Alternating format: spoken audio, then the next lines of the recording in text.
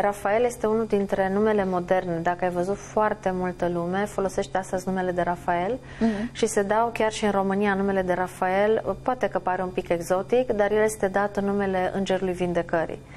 Deci, uh, Rafael vine și are grijă de starea noastră de sănătate și când zic sănătate, dincolo de ceea ce înțelegem prin bol, pentru că există o, o tendință pe zona de Balcan de a pune accent deosebit pe starea de boală pentru a fi în centrul atenției, um, Rafael se ocupă și de stările de depresie și de stările astea în care nu lași lumina și bucuria să intre, să intre în viața ta.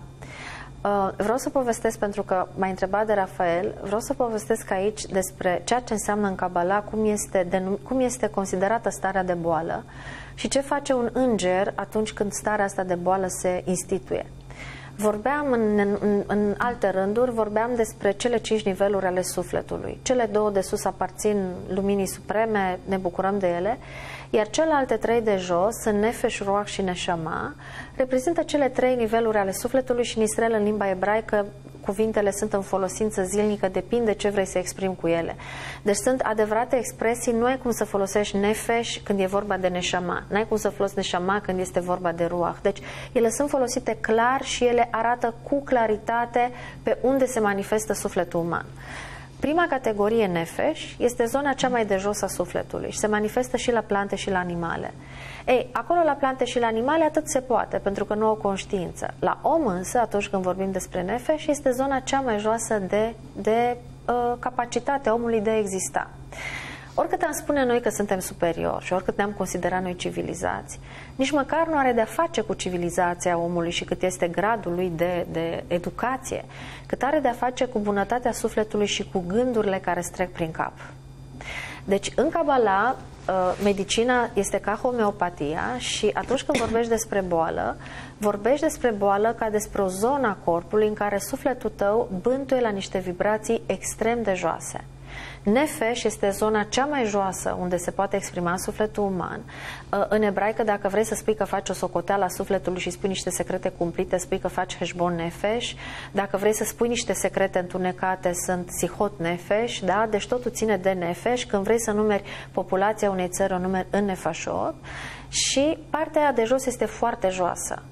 Deci, vindecarea și atunci când îl uh, invoci pe Arhanghelul Rafael să fie lângă tine atunci când te vindeci, o poți, o poți face în primul rând prin unul din cele 72 de nume cu format ebraic, literele ebraice pe care le-am tot, tot am eu un tablou pe care îl tot aduc și în fiecare zi uh, și când am discuțiile astea cu grupurile de Kabbalah le arăt ce anume să acceseze.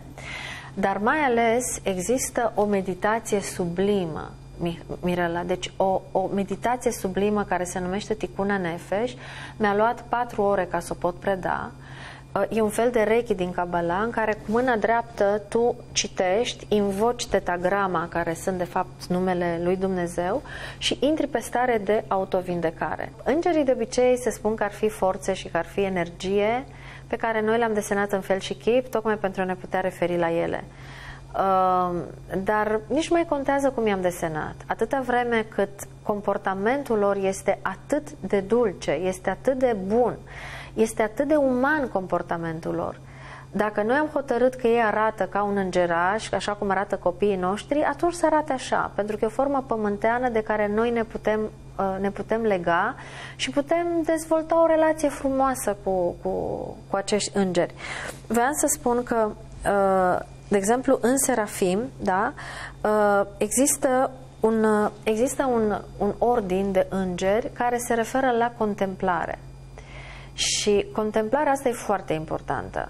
Pentru că prin faptul că te uiți la un lucru sau prin faptul că ai de-a face cu, cu un înger din acest ordin, Simplu faptul că tu contempli un lucru și practici proactivitatea, nu poți să fii reactiv atunci când ai de face cu îngerii serafim. N-ai cum să fii. Deci n-ai cum să fii. Nu, nu funcționează. Uh, simpla contemplare. Serafimii sunt peste arhanghel?